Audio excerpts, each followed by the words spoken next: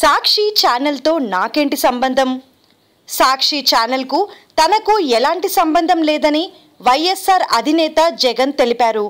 జగతి publications తరఫున సాక్షి channel పనిచేయడం లేదని సుప్రీంకోర్టు కౌంటర్ పిటిషన్లో జగన్ పేర్కొన్నారు. జగన్ సాక్షుల్ని ప్రభావితం చేస్తున్నారని అతనికి ఇచ్చిన బెయిల్ రద్దు చేయాలంటూ ఇటీవల ఈడీ సిబిఐ కోర్టుని ఆశ్రయించిన సంగతి తెలిసిందే. దీనికి సమాధానంగా జగన్ తన పిటిషన్లో పై విధంగా పేర్కొన్నారు. మాజీ సీఎస్ రమాకాంత్ రెడ్డి ఇంటర్వ్యూ తాను ఏర్పాటు చేసింది కాదని తాను ఎప్పుడూ రమాకాంత్ రెడ్డిని కలవలేదని వెల్లడించారు. ఆ ఇంటర్వ్యూ చేసిన వ్యక్తి ఫ్రీలాన్స్ జర్నలిస్ట్ అని కౌంటర్ పిటిషన్లో జగన్ పేర్కొన్నారు. కేసు విచారణను ప్రభావితం చేస్తేనే బెయిల్ రద్దు చేయాలని యాంత్రిక పద్ధతిలో బెయిల్ రద్దు సాధ్యం కాదని సిబిఐ పిటిషన్ కొట్టివేయాలని జగన్ కోరారు.